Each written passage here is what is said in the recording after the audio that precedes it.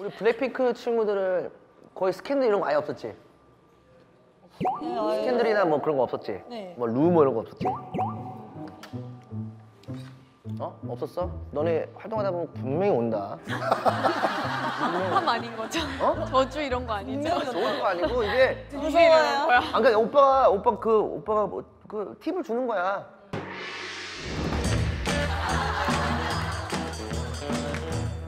어, 오빠 아니 니네가 모르다가도 와.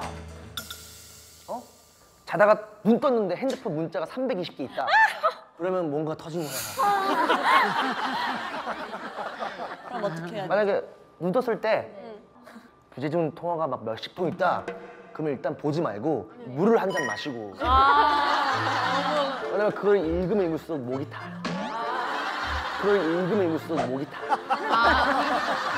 어, 목이 타고 목이 타고 등에 땀이 나거든. 일단 시원한 물 한 잔 일단 목을 아, 적셔. 네. 네. 그 다음에 이제 열어봐. 하나 보고 숨, 숨 쉬어야 돼. 아, 어?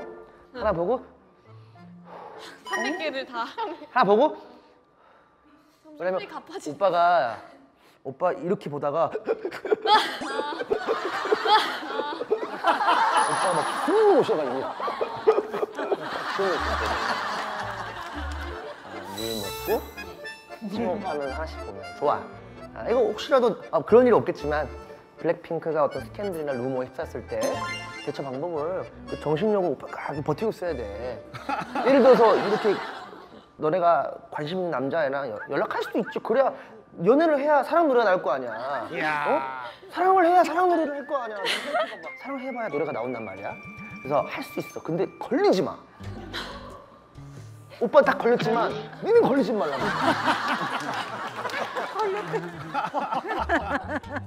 좋은 거 가르치네요. 블랙핑크 친구들한테 저런 얘기 해준다고 양 회장님이 굉장히 좋아하시겠네요.